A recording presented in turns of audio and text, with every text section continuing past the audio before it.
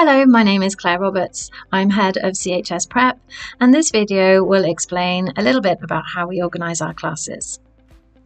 Our classes cater for the UK Key Stage 1 and Key Stage 2 curriculum.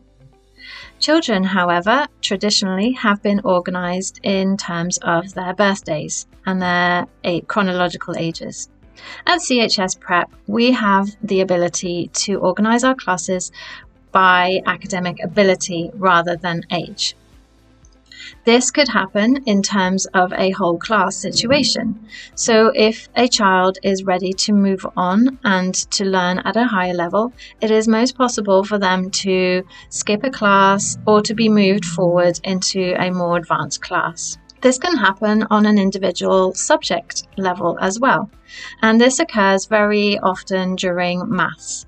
Maths is a lesson where we can cater for more advanced, challenging lessons for pupils who need it, as well as more, a more supportive, uh, lower stakes environment for pupils who are struggling with their subject. So we are able to move children on a subject base basis as well as a whole class basis. This is something that is not found in traditional schools and something that we find allows the pupils to make the most amount of progress. If this sounds like it is of interest to you, please do get in touch so we can talk about this further.